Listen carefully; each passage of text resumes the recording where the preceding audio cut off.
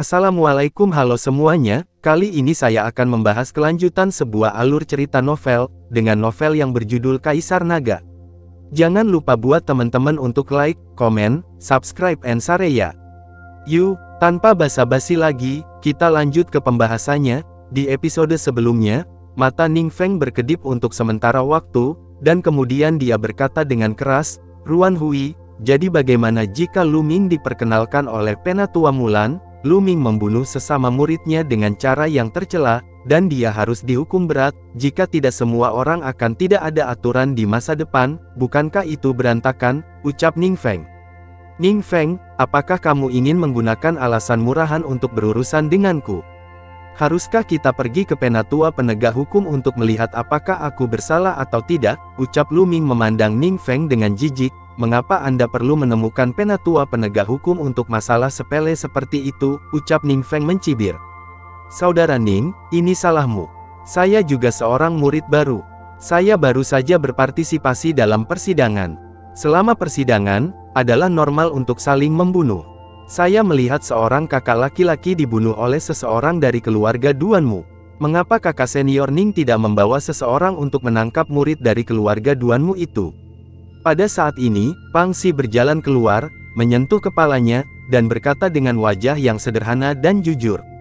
Itu benar, Ning Feng, kamu sangat jujur dan menakjubkan, kamu pergi untuk menangkap orang-orang dari keluarga Duanmu, dan kamu hanya akan berteriak di sini, bukankah itu memalukan, ucap Feng Wu berdiri di samping Lu Ming dan berteriak genit. Ini membuat Ning Feng terlihat jelek untuk sementara waktu, dan memintanya untuk menangkap murid-murid keluarga Duanmu, bagaimana mungkin? Segera, dia memandang Pangsi dengan sedikit tidak baik, dan memarahi, apa yang kamu, beraninya kamu berbicara seperti itu padaku? Pergilah, ucap Ning Feng. Kemudian dia melihat ke arah Ruan Hui dan berteriak, Ruan Hui, minggir, ucap Ning Feng. Ning Feng, jika kamu memiliki kemampuan, kalahkan aku, jika tidak, jangan sentuh Luming, ucap Ruan Hui. Sikap Ruan Hui sangat tegas. Sikap Ruan Hui begitu tegas sehingga wajah Ning Feng menjadi keruh untuk sementara waktu, dan dia menatap Luming lagi, dan berkata, Luming, Raja Pemula macam apa kamu, apakah kamu hanya bersembunyi di belakang wanita, ucap Ning Feng. Bagaimana kalau kamu dan Luming bertarung dalam waktu satu tahun, ucap Ruan Hui. Kakak senior Ruan, Mengapa aku membutuhkan satu tahun? Satu bulan sudah cukup, ucap Luming. Luming melangkah maju, menghadap Ning Feng, dan berkata, Ning Feng, aku hanya menantangmu sekarang, apa berani, ucap Luming. Suara jernih Luming menyebar jauh, tetapi menyebabkan keributan. Apa, Luming akan menantang Ning Feng, dan setelah sebulan, bukankah dia mencari kematian? Ning Feng telah mencapai puncak seni bela diri tingkat keenam, dan dikatakan bahwa dia hanya satu melangkah menjauh dari seni bela diri tingkat ketujuh, dan dia telah mempelajari seni bela diri kuning selama hampir lima tahun, dia telah mencapai seni bela diri tingkat tinggi tingkat kelima, yang merupakan keadaan sempurna. Beraninya Luming ini menantang Ning Feng setelah satu bulan, diingin mengalahkan Ning Feng dalam sebulan, tidak mungkin, terlalu sombong, saya pikir dia telah mendapatkan ratu baru, dan dia sedikit percaya diri. Melebih-lebihkan, Lu Ming terlalu sombong. Mata Ning Feng berkilat, menunjukkan sedikit kegembiraan, dan berkata, Lu Ming, kamu ingin menantangku dalam sebulan, ucap Ning Feng, ya, apa kamu berani, ucap Lu Ming. Hahaha, aku akan menerimanya, ucap Ning Feng tertawa. Dengan bakat Lu Ming, mungkin tidak menjadi masalah untuk mengungguli dia dalam setahun, tetapi tidak mungkin untuk melawannya dalam sebulan. Lu Ming sedang mencari kematian. Karena dia diblokir oleh Ruan Hui hari ini, dia sebaiknya setuju dulu. Dia akan membunuh Luming di depan umum dalam sebulan. Dia sangat bersemangat ketika berpikir untuk membunuh Raja Pemula. Luming, aku harap kamu tidak akan bersembunyi dan menjadi pengecut setelah sebulan, ucap Ning Feng. Kalimat ini persis seperti yang ingin kuberikan padamu, ucap Luming.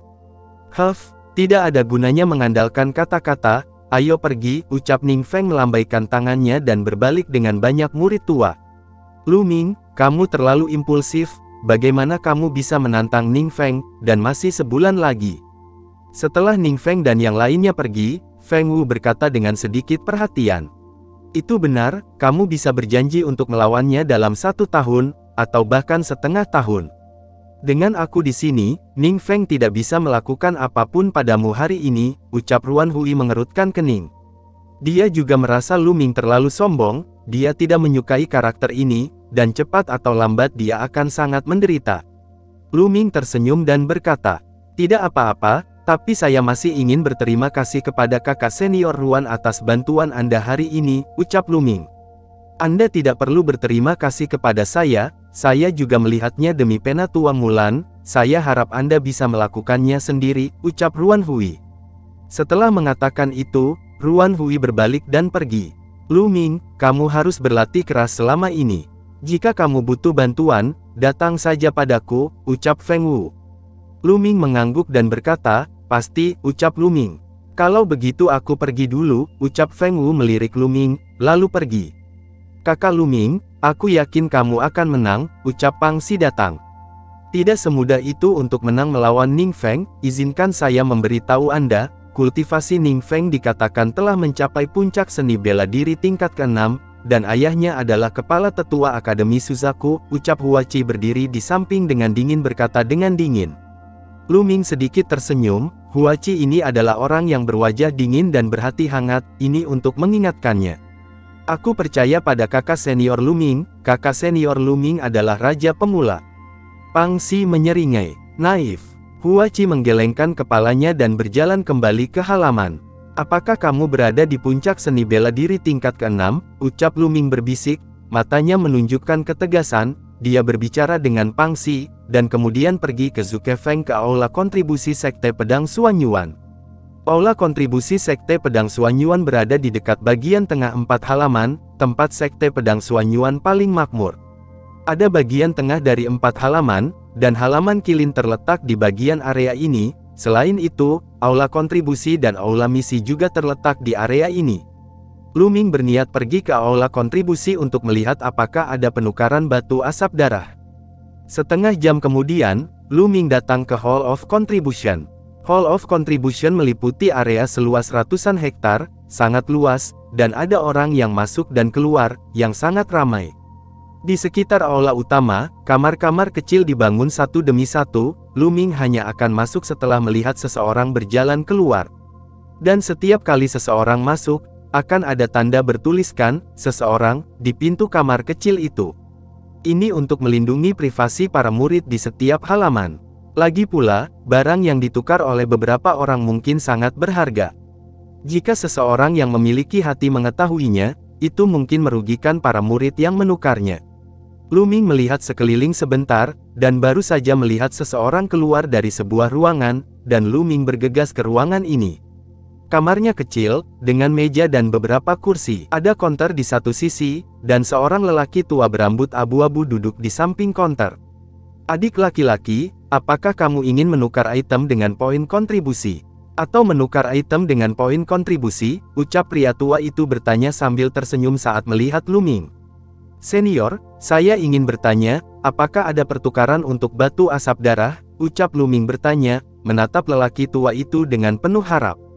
Batu asap darah, apakah Anda ingin menukarnya dengan batu asap darah? Ucap lelaki tua itu mengangkat alisnya dan bertanya dengan heran. Luming tertegun dan bertanya, Senior, apakah tidak ada pertukaran untuk batu asap darah? Ucap Luming. Iya, tentu saja, tapi harga batu asap darah tidak murah. Satu kati batu asap darah membutuhkan 3000 poin kontribusi dari sekte, ucap pria tua itu. Apa? 3000 poin kontribusi sekte, ucap Luming. Meskipun dia sudah siap, harganya masih mengejutkan Luming. Lalu setelah itu, bagaimanakah kelanjutan ceritanya? Next di episode berikutnya ya, wassalamualaikum warahmatullahi wabarakatuh.